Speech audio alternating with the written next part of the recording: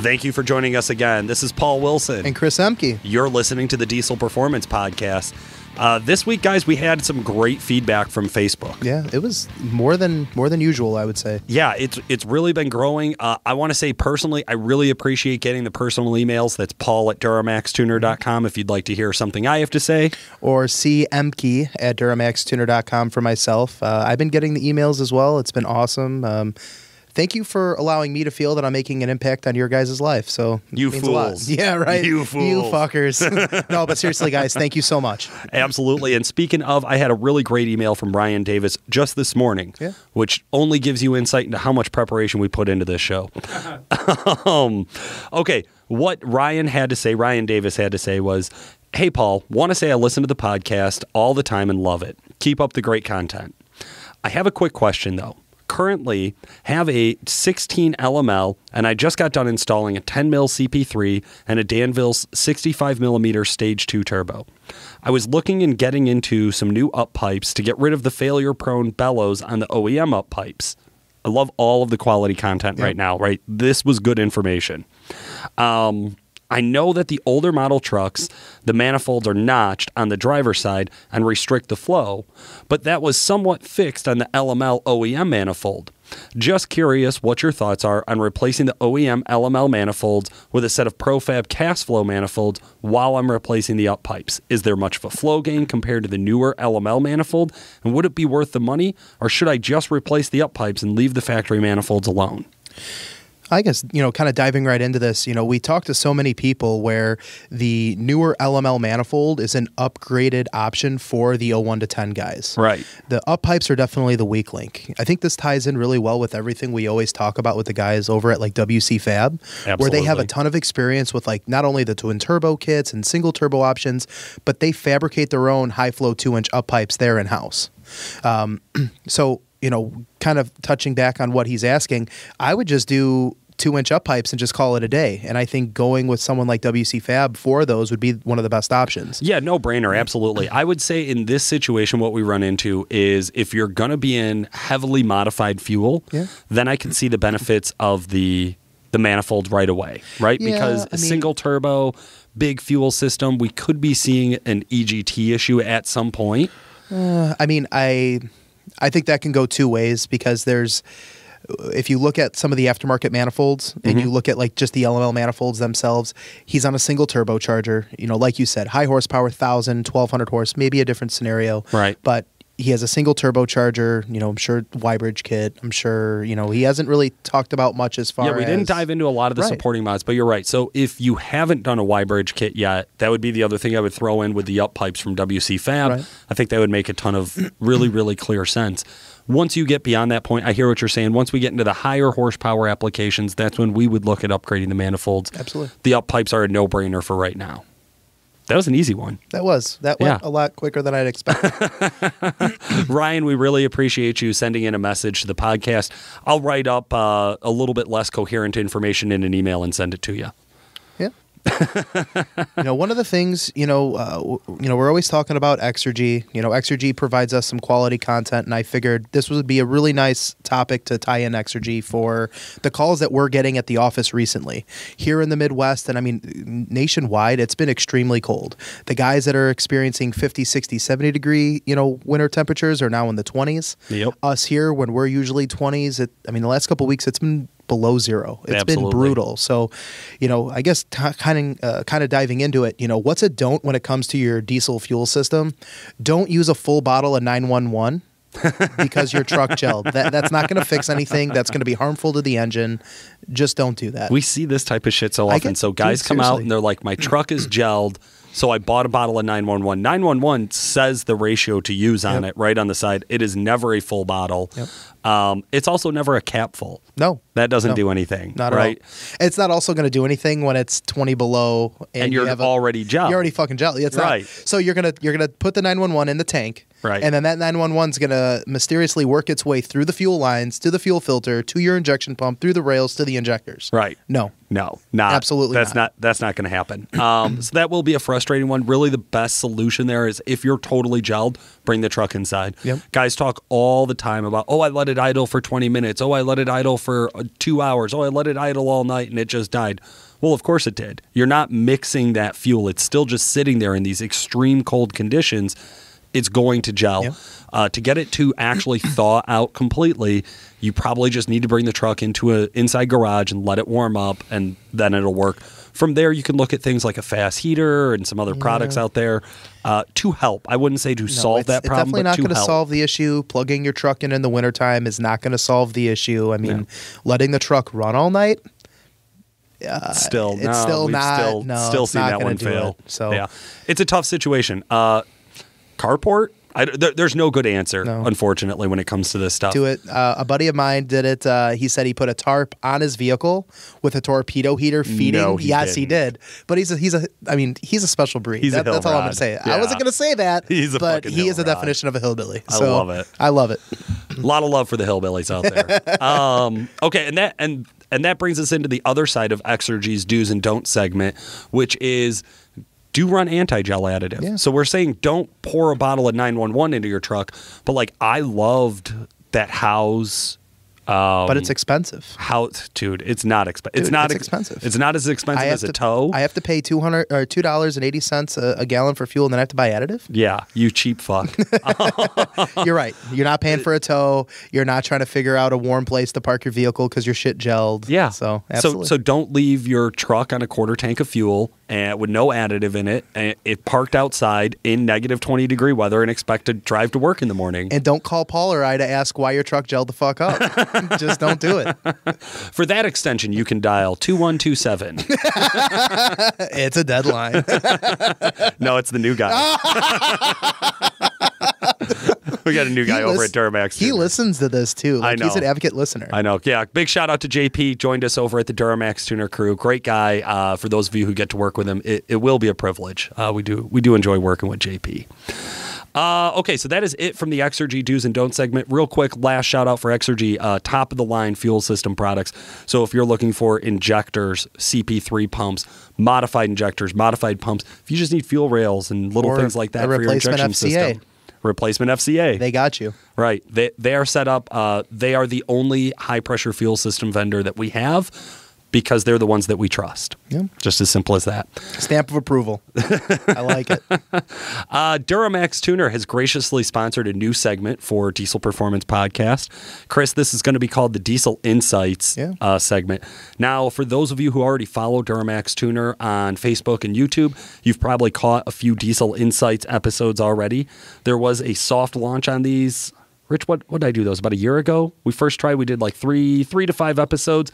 They were really short, just Yeah. snippets of information. They were, they were a crash and burn because of your ugly ass face. They were. Yeah, Check. for sure. Check. Uh, yeah, they were not popular. Then all of a sudden you throw Nick in front of a camera and everybody's like, oh, I fucking love everything you do. Uh, no, but That's the it's, truth. It's probably because he was a lot better and picked a lot better content Oh, yeah. and presented it in a much better way, which is totally fine. That's what Nick's good at.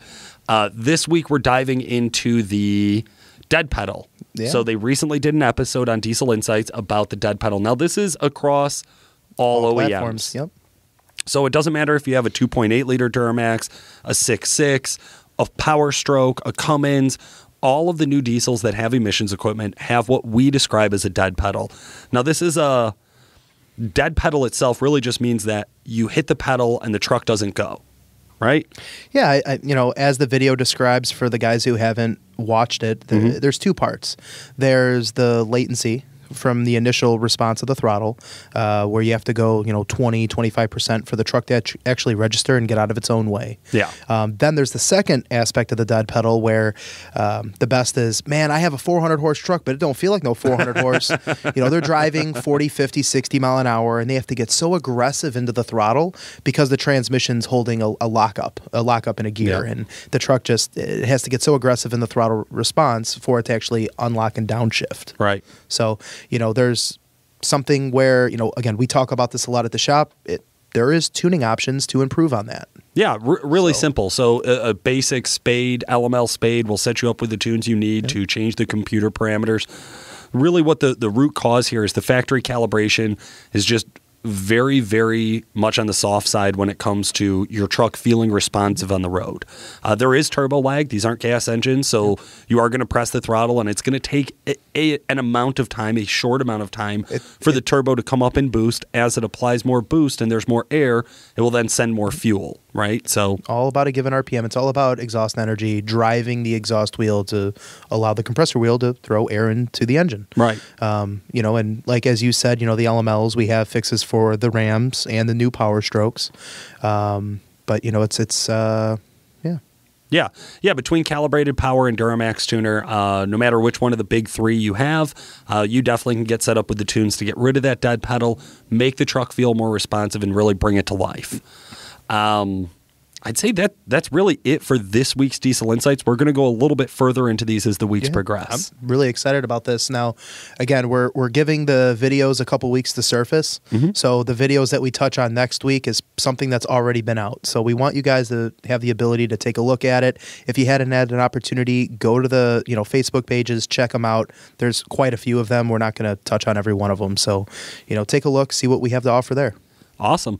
Industry news. Our our next segment here for today's episode. Uh, we we want to really start being a resource for our listeners to know exactly what's going on, what's current in the diesel industry. Because if you jump on Facebook, you're listening to a lot of nut swingers talk about things they don't know anything about. It's just the truth of it. And I just want to say shout out to Alligator Performance because those are the guys that are allowing us to have these this segment go live on our on, on our channel. So, Absolutely. You know, uh, with the with the UCC, which I hate to say it is right around the corner.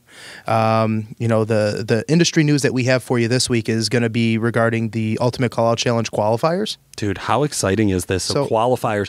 What Chris- is? I was going to ask you. So walk us through. So we had the UCC competition last year. Yep. Okay. Now this year they're bringing in a whole new um, contest or, Thir- or, you know third- competition. Okay, so there's 30 competitors who are competing in the UCC just like last year. Yep. No, that has not changed.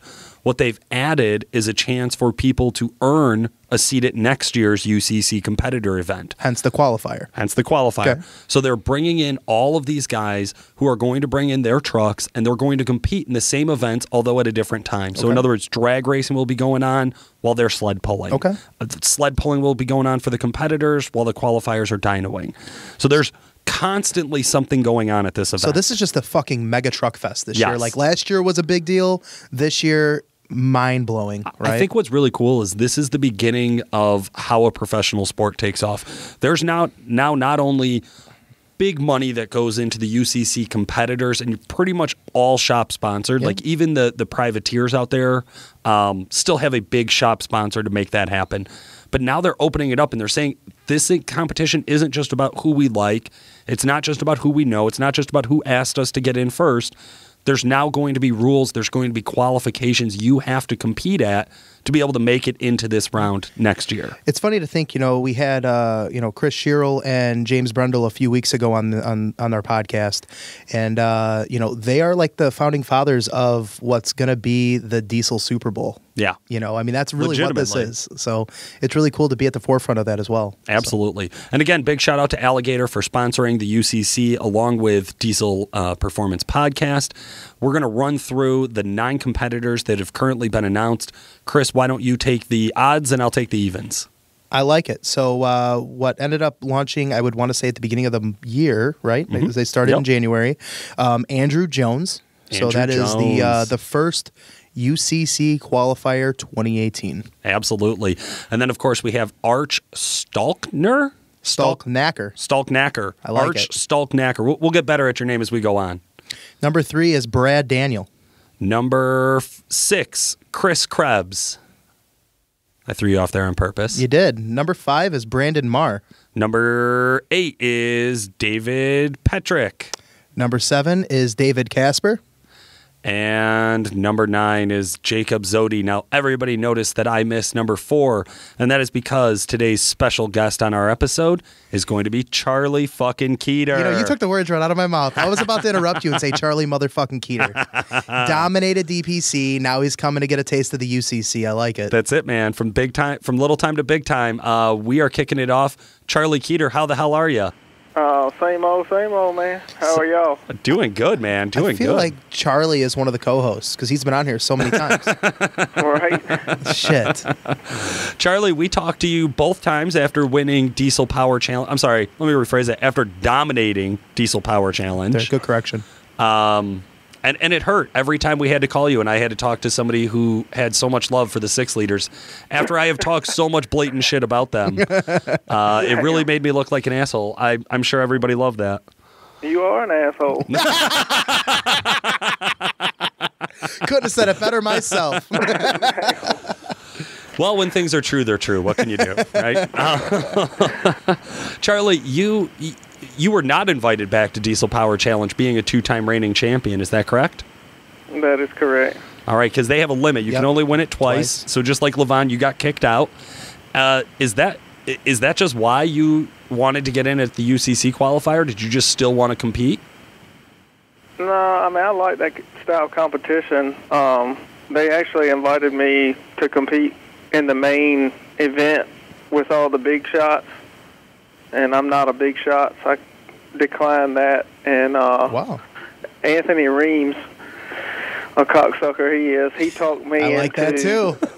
But not in that he way. talked, he, talked, he talked me into competing, uh, you know, entering the qualifier. For some reason, I agreed to it. but Anthony Reams is the driver of the XDP truck uh, all season long for the NHRDA races and for the Ultimate Callout Challenge. Why didn't you want to compete with him? Why didn't you want to fuck around with the big dogs, man? You got that badass oh. 6-0. Big swinging oh, dick. yeah, no, it ain't. It's not. It's on a different tier than those guys.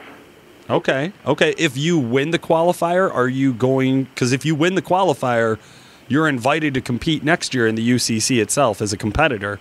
If you win the qualifier, or is 2019? Can we expect to see you as a competitor then? Uh, maybe, but I doubt it. I think the top five trucks out of the qualifier get invited to uh, get invited to UCC 2019. Yeah. I mean, one of the things here with these contests, and it's something that we've always talked about at the shop and just, you know, friends amongst friends.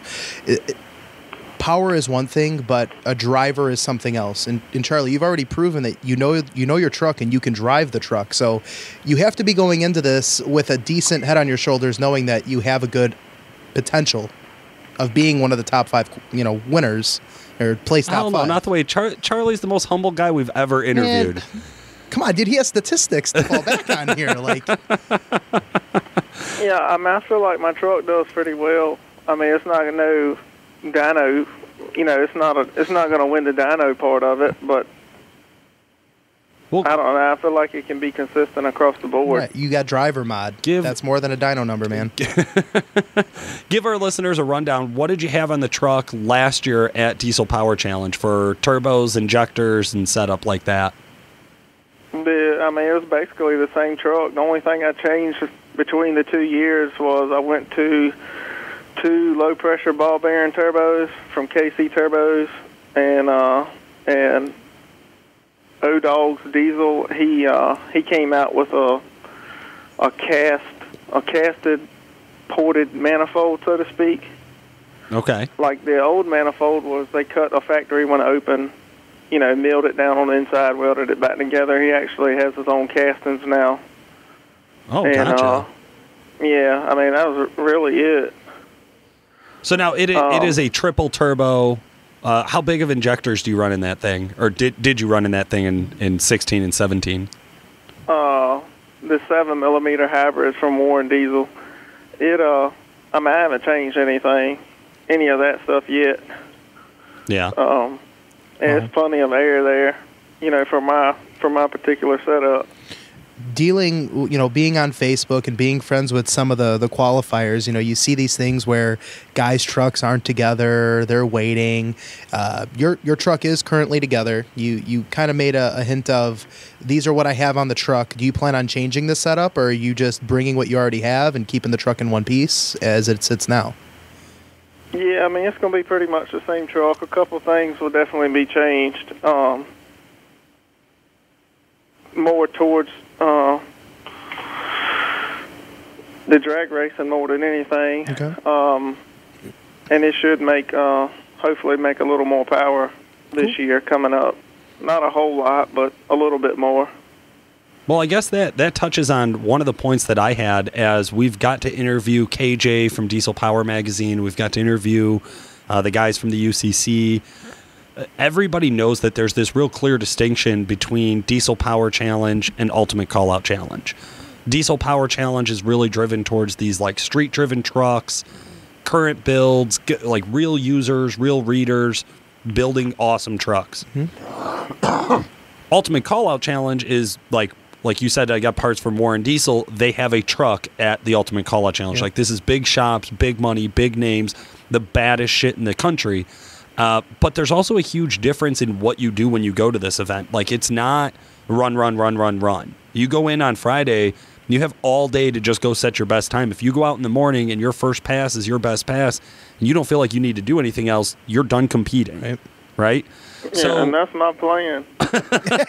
keep it together man I just was keep it literally, together literally got to it before I could ask it. Okay, so your plan is is just to stay simple and, and have as few passes on this truck as possible, or is your plan to like there's a goal for for your quarter mile time and you're going to keep going until you hit that goal? No, I mean I'm gonna have it. I'm gonna go. We have a local event in March here that I'm gonna go to. Then there's Rudy's in April. If the truck survives through those two races, um, you know, I'm, I'm. It's gonna be. I plan on having it dialed in before I even go to the track. On I think the first event's March 24th.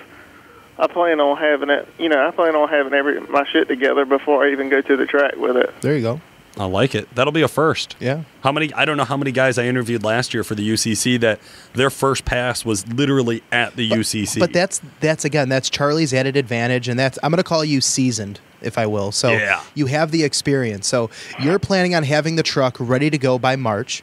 So you're going to have an idea because you have experience with the truck of what the truck should do. So you unload the truck first day at UCC. You run the truck at the track. You know exactly what it's supposed to do. If it does what you want it to, then that's it. You don't have to push it any further. Yeah, exactly. I mean, I'm like I said, I'm gonna go out there and try to make, you know, one dyno pool, one track pool. I mean, it's gonna be it's gonna be all out there on the first pass. You know what I mean? Mm-hmm. I love it. Man, he's like I think he has a lot of self control. Like if I were to go to the casino with him, I think he leaves ahead. He oh he'd leave with money in his pocket. Not yeah, me. no, Not me, no, no. no, no, Uh-uh. no, no. Pouring dimes into the slot Yeah. machine on the way out and shit. You haven't even been with me, man. Oh. Okay, so Charlie, though, now if I remember correctly, at Diesel Power Challenge, you did very well in just about every event, right? Like you you you ranked highly in each event and got a lot of points in each event, but maybe didn't necessarily win five of the eight events or whatever. Is that correct? Yeah, I think I won the uh, the heads up drag racing, and for some odd reason, I was able to win the sled pool. for some odd reason. That's so humble. awesome. I know, right? Um, but this year you're not pulling points in a lot of categories. You get three. You get three events. Is did that make any impact on your strategy? No, I mean I, don't, I really don't care to be honest with you. I'm gonna go out there and have a good time and hopefully keep the truck together. If I, you know, place in the top five, then so be it. If I don't, then I've learned something and met some more people. I mean, his goal here isn't he just wants to go to UCC, but he wants to enjoy the truck the rest of the summer. you know? Yeah, I mean I got another baby and stuff on the way. UCC is probably going to be my uh, probably my cutoff for the year. I might try to go to a couple more local events, but Okay. that's going to be that's going to be about it. Well, congratulations. Nah, yeah, thanks. No problem. It's exciting. Um, um, okay, so is there a single event you think, like out of the dyno, the sled pull, and the drag race, where do you think you're going to do best? You said probably not the dyno, huh? No, I mean I feel like the truck's gonna put down a good number, but you know some guys. I mean, there's no telling us what kind of power number some of them are putting. You know, going to try Right. to put down anyway. Right. But I can about assure you, when I make my little 12, 13, 1400 horsepower, whatever it's going to be, that my shit's going to drive off of there, and I'm going to be ready for the next day. That's the quote of the day. I love it. Is there is there an event that you're really confident in? Where do you think you're going to do the best? I mean, the drag racing is where the the truck shines most of the time. What's your best time in it so far? It's been nine nine eighty and a quarter. In a Holy crew fuck. cab. In a crew I cab know. Ford. I know. It just it makes my whole body cringe. Dude, I want Um, to hear. I want to know what a six liter sounds like going nines in the quarter with mile three turbos. with three fucking turbochargers. Yeah. that's a bad motherfucker. I mean, it does all right for what it is. Are you are, are you now you said sled pulling really not your thing, huh? No, I mean, but I know how to. I ain't gonna say I know how, but I just go out there and give it hell and see where it lands. Now listen, there's a lot of science that goes into sled pulling, but driving ain't rocket science, right? There's a there's a wheel and a pedal, figure it out. Yeah, Yeah, I mean, you, if you know your truck, you know what it's doing, what you know, tire spin, wheel speed, and all that stuff. Are you bringing Are you bringing some backups? I mean, this is UCC. You're not tied down to one set of tires for the whole weekend. Like you could swap out different tires to sled pull with, different tires to dyno with, different tires to drag race with. Are you planning on any like on site changes? Hope not. I mean, I'm gonna have. I'm gonna have my uh, slicks for the track, of course, and then you know I might, if I can scratch up a set of tires or something, I might put a different set of tires on it for the sled pull. That's and that's that's literally it. That's, That's all it. your That's the That's the whole. What's the backup plan? What happens if shit goes wrong? What if it blows up? He goes home. Yeah, I'm gonna stay there and watch the rest of the people blow their shit up.